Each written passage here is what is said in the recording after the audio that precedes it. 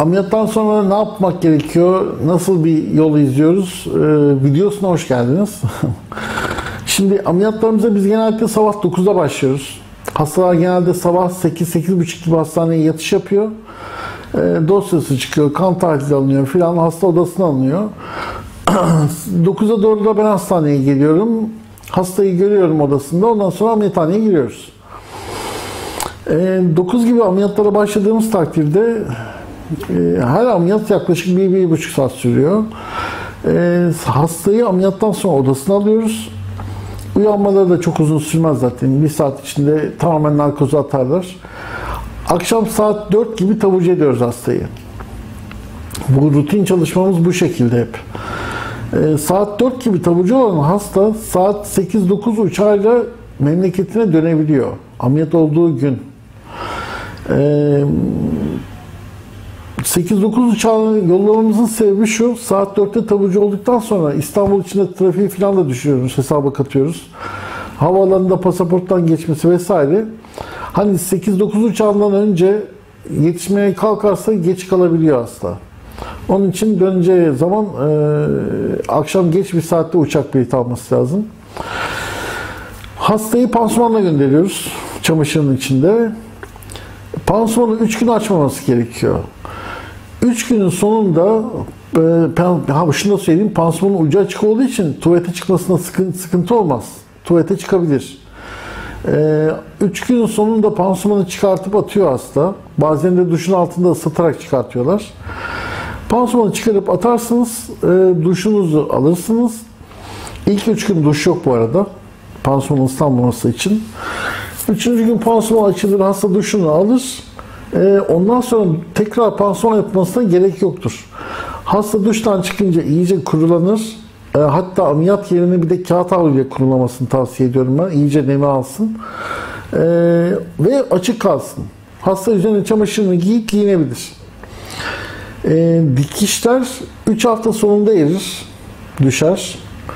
E, çünkü eskiden çabuk eriyen dikişle dikişler atıyorduk ama e, çabuk eriyen dikişle e, diktiğimiz zaman bazı yerlerde ufak tefek açılmalar oluyordu.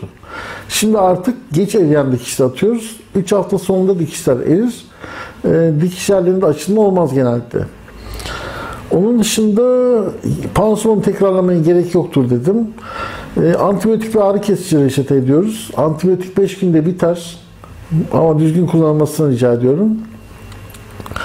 Onun dışında havuz deniz e, meselesi var. Şimdi bakın ilişki şey e, duşa girmekte sıkıntı yok 3. günden sonra. Çünkü duştaki sabunlu su dezenfektandır. Ondan korkmuyoruz. Duru sudan da korkmuyoruz. E, güzelce durulansın. Örneğin biz de ameliyata girerken elimizi duru suyla yıkıyoruz. Yani sabunlu suyla yıkıyoruz ama duru suyla, duru suyla da duruluyoruz. Ee, bunlarda sıkıntı yok. Ama deniz ve havuz, deniz ve havuz iki haftadan önce olmaz. Niye? Özellikle yazın e, soruyorlar bunu hastalar. E, deniz ve havuz suyunu kirli kabul ediyoruz. Yani duş suyu gibi değil. O yüzden iki haftadan önce denize ya da havuza girmeyin. İki hafta mutlaka şey e, uzak durmak gerekiyor. İlişkide üç hafta. Kalınlaştırma videosunda anlattığım e, sebeplerden dolayı 3 hafta ilişkiye girmemeniz gerekir. Ee, yaklaşık böyle.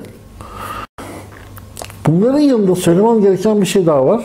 İlginç bir hikayeden bahsetmiştim size. Ee, ağrı meselesi. Bakın penisin dibindeki asıcı bağ kesiyoruz. Oraya bir sürü dikiş atıyoruz. Penisi dışarı iten dikişler atıyoruz. Bunlar ereksiyonda ve ilişkide biraz ağrı yapabilir başlangıçta. Ee, bir örnek vereyim. Biraz komik bir hikaye. Ee, Irak'tan bir hasta geldi bir gün. Türkiye'deki akrabaları getirdi bize. Ee, ameliyatını yaptık. Penis büyütme, uzatma ve kalınlaştırma. Bu hastayı daha sonra gönderdik Irak'a. Aradan tam bir ay geçti. Bir ay sonra Türk akrabaları beni aradı. Dediler ki hocam dediler hastamızın ameliyat yeri mikrop, mikrop kapmış. Nasıl mikrop kapar dedim ya. Yani mikrop kapsa ilk haftada olur o iş.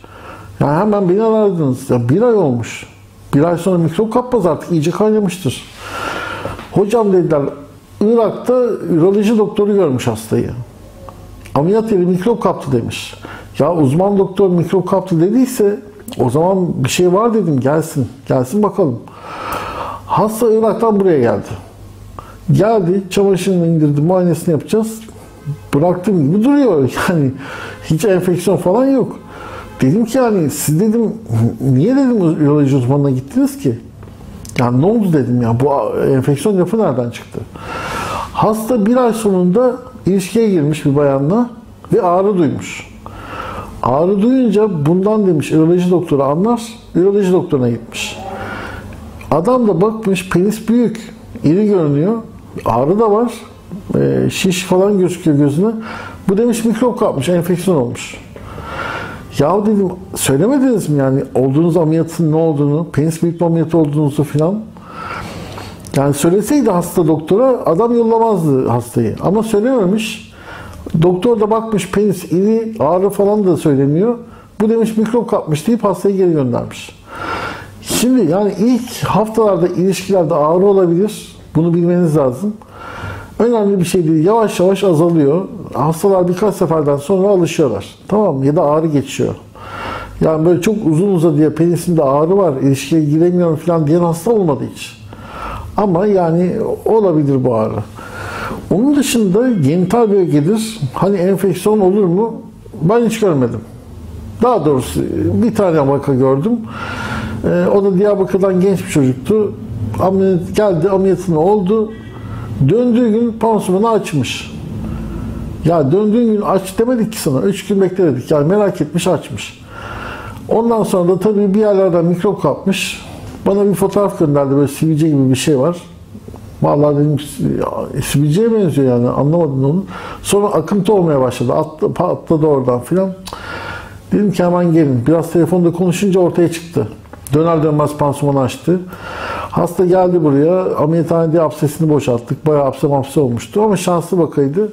Yağda çok kayıp olmadan toparladık gönderdik hastayı. Bu yüzden pansumanı merak edip de 3. gün aç 3. günden önce açmayın lütfen. Çünkü genital bölgedir. Temiz bakılırsa pansuman e, kısa sürede açılmazsa problem yaşamazsınız. Antibiyotik de veriyoruz üstelik. O yüzden 3 gün sabredin, 3. gün açın. Tamam.